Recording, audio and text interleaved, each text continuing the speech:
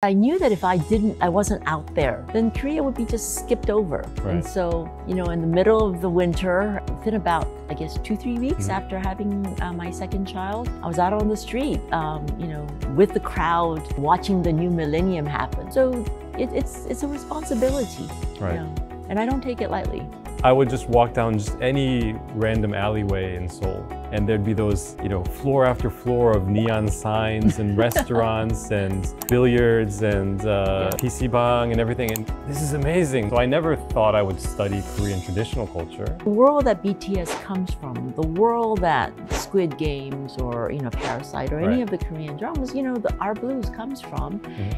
is uniquely Korean. There's a freedom, there's a vibrancy, a defiance, a passion of Koreans that really fuels all of this.